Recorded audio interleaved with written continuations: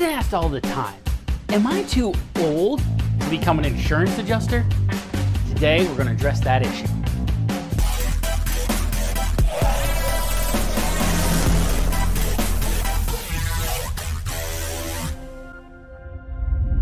As insurance adjusters, we need to be covered by insurance. We're writing estimates, climbing ladders, walking on roofs, and mistakes can happen. What are you going to do when something goes wrong? Kaplicit. CPLIC, or Kaplik for short, is an insurance company for independent adjusters, formed by independent adjusters. They understand our job and the potential problems that can arise. If you want help understanding what coverages you need as an independent adjuster, head over to cplic.net slash adjustertv for a free download that will explain the common types of insurance for adjusters. Hey IAs, it's Chris Stanley of IAPath. You know how most new adjusters cannot break into the industry? They struggle because companies have two to five years worth of experience as a requirement and how can they get that experience? But don't worry, at IAPath, we get that experience waived with our 90 day online mentorship program. If you're interested, head over to IAPath.com. Now, to start off with, let's give you some stats. The average age of the insurance professional industry, that includes agents, adjusters, and everybody else, in 2018 was 59 years old. Also, one in four insurance professionals will be retired in the next four years, which creates 400,000 jobs that will need to be filled. So, what does this all mean? It can mean two things. One, if you're young, there's tons of opportunity in the insurance industry. It's a 1.7 trillion dollar industry after all, and people will be needed. Now, if you're older in your second or even third career, you can fit right in.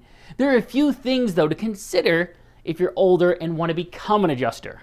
If you're considering doing property claims, how comfortable are you with climbing on a roof? Ask James Mathis how he feels about roofs, and he isn't even that old. Well, not really. But falling off a roof is a real possibility, and he's done it, and now it's hard for him to do the job. If you have physical limitations, consider the type of claims you can physically handle. If climbing a ladder and walking on roofs doesn't fit well with your physical limitations, consider auto, liability, or some kind of desk adjusting. There's so much more opportunity than just property claims in our industry. Are you looking for an IA firm where you're not just another number? Let me tell you about our sponsor. CCMS and Associates. CCMS has been called a big mom and pop firm because they care about their adjusters. They also care about results. The CCMS family is dedicated to training and developing a talented adjusting team. If you would like to be a part of their family, email your resume and cover letter and introduce yourself directly to careers at ccmsclaims.com. The next question is Are you comfortable with computers? Although we are a people, business, and industry, our business is managed through computers. If you hate computers or don't have much experience with computers, it'll be a big hill to climb to learn the nuances that the younger generations understand about how to work with technology and computers. This is by far the biggest obstacle you may face if technology is not a strength for you. Now, do people discriminate on your age? Absolutely not. Uh, number one, it's illegal. And two, most people never even know your age based on your resume, unless you're telling them, and you shouldn't be. The only negative responses I've seen from firms ha- that they have towards older generations is that they struggle with computers and therefore struggle to complete their claims. But that goes for anyone, no matter the age. Now, here's some tips for those who consider themselves possibly too old for adjusting. Focus on computer skills. If this is solid, then tackle the typical adjusting requirements of a license, training, etc.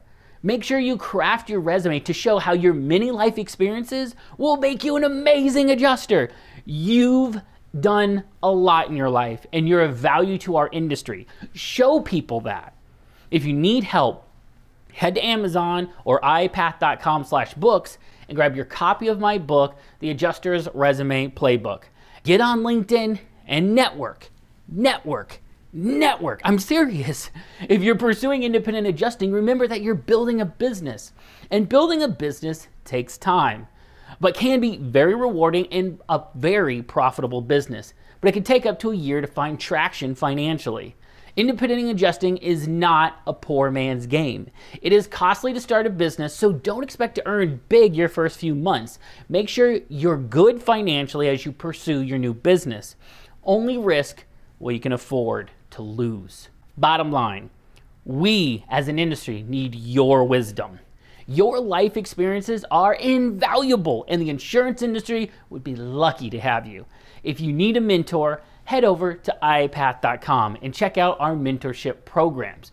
We help people get started working in, a, in as little as 90 days with our online virtual mentorship programs. Until next time, keep walking your path and claiming your life. If you enjoyed this video, you'll love riding along with us on Adjuster TV Plus. Myself and a growing list of industry experts will show you how to handle claims with confidence. We know it's hard to find a working adjuster who's going to let you shadow them, which is why we let you ride along with us on Adjuster TV Plus. Check it out for seven days absolutely free at iapath.com slash TV.